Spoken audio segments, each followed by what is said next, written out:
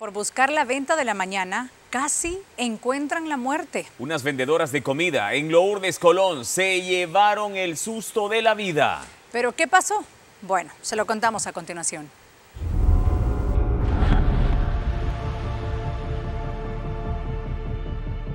No había amanecido, pero la luz de las ambulancias iluminó la zona del poliedro en Lourdes, Colón. La mañana transcurría con total normalidad, hasta que de pronto un accidente de tránsito interrumpió la tranquilidad de la zona. Un motociclista presuntamente en estado de ebriedad arrolló a dos vendedoras que se encontraban a la orilla de la carretera. Buena mañana usted, ¿qué fue eso, accidente? Sí, el golpe nomás. Porque yo fui a ver, va, yo como siempre va, fui a ver y ya han dado vuelta todas las mesas, todo el pan le han botado y todas las cosas, los preparos que tenían, lo botaron.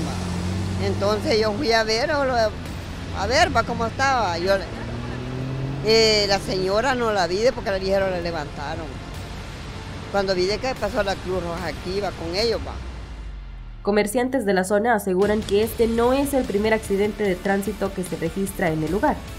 En varias ocasiones los han protagonizado automovilistas y motociclistas.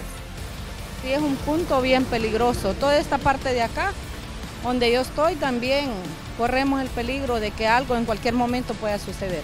Exacto, sí, esa es la necesidad pues que nosotros tenemos de estar en este lugar porque para sobrevivir, ¿verdad?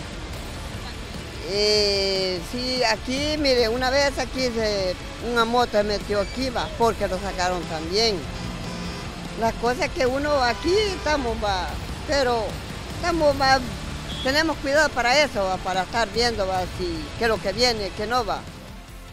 Ellos aseguran que la necesidad de generar ingresos los mantiene comercializando sus productos en este lugar, aún sabiendo que se arriesgan a estas situaciones. Claro que por necesidad, porque si no es venta no comemos, tenemos que estar aquí por necesidad. Sabemos que corremos riesgo, pero la necesidad es grande, tenemos que estar acá. Tenemos que estar pendientes porque sabemos que pasan los vehículos y todo.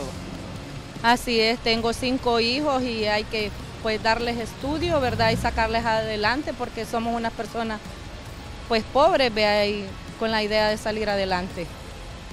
Recuerde manejar con precaución para evitar ser una cifra más. Con imágenes de Santiago Hernández, Sofía Shi, Noticias, 4 Visión.